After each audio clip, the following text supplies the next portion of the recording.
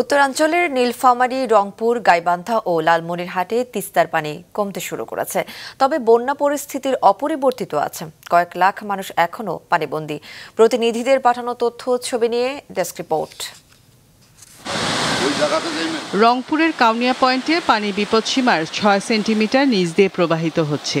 নিচু ও চরাঞ্চলে এখনও পানি থাকায় ভোগান্তিতে আছে কাউনিয়া, গঙ্গাচড়া ও পীরগাছার কয়েক হাজার মানুষ। পানির জন্য তো বেড়ায় যায় না চড়াই টড়াই শোক মাছার উপরে তুলি থাকা খাওয়া দাওয়া কিছুই নেই। বাল বাচ্চা নিয়ে আমরা সবাই মানুষের বাড়িতে উঠছি। বনের বাড়ি বন্যার পানি হচ্ছে ওখানে ভাত রান্না করার কোনো বুদ্ধি নাই।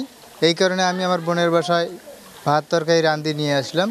ধান গেছে এবার তো শাক সবজি লাগাছিলাম এরপরে তামাক আবাদ করি আমরা রংপুরের লোক আমরা তামাক আবাদ করি তামাকের পুলি ফেলাছি সেলে একদম ধ্বংস। আমরা তো সামনে দীর্ঘদিন চলবো ব্যবস্থা নিয়ে তাদের এখন আমরা নিরুপায় দেখতেছি। এই তিস্তের জন্য আমরা আর থাম্বের পাইতেছি না এখন কোথায় যাব কোথায় না যাব থাকব কোথায় এই যে আবাসন আমাদের সব তলে গেছে। কোথায় থাকব আমরা? তিস্তার পানি কমলেও গাইবান্ধার ব্রহ্মপুত্র ও যমুনা নদীর পানি একান্ন সেন্টিমিটার ঘাঘর তেত্রিশ ও করতোয়া নদীর পানি চল্লিশ সেন্টিমিটার বেড়েছে। পানির স্রোতের কারণে সুন্দরগঞ্জের রাজারচর কাপাসিয়া গাইবান্ধার কুন্দের পাড়ায় দেখা দিয়েছে ভাঙন। লালমনিরহাটে তিস্তা নদীর পানি ব্যারেজের পঁয়তাল্লিশ সেন্টিমিটার নিচ দিয়ে প্রবাহিত হচ্ছে। পানিতে তলিয়ে থাকায় উনিশটি শিক্ষা প্রতিষ্ঠানের শিক্ষা কার্যক্রম বন্ধ রয়েছে। সরকারি হিসেবে পাঁচ জেলায় প্রায় চল্লিশ হাজার মানুষ পানিবন্দী। তলিয়ে গেছে ধান ও শাকসবজির ক্ষেত। প্রায় চল্লিশ হাজার মানুষ এফেক্টেড হয়েছে। তাদের জন্য আমরা পর্যাপ্ত ত্রাণের ব্যবস্থা করেছি এবং আরও যদি প্রয়োজন হয় আমরা ব্যবস্থা করব। এবং পানি উন্নয়ন বোর্ড আমাদের এই বেড়িবাঁধ ভেঙে যাতে পানি ভিতরে না যায় সেই জন্য সার্বক্ষণিক কাজ করতেছে।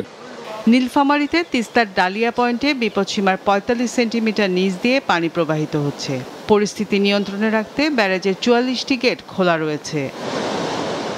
এদিকে নোয়াখালী সদর উপজেলার নেওয়াজপুর, অশ্বদিয়া চরমটুয়া কাদির হানিফ, সেনবাগ উপজেলার ছাতারপায়া কেশারপাড় ও কবিরহাট উপজেলার নরোত্তমপুর এবং সদলপুর ইউনিয়নের কয়েকটি গ্রাম এবং চাটখিল, সোনাইমুড়ি ও বেগমগঞ্জ উপজেলার সবকটি ইউনিয়নের মানুষ এখনও পানিবন্দী।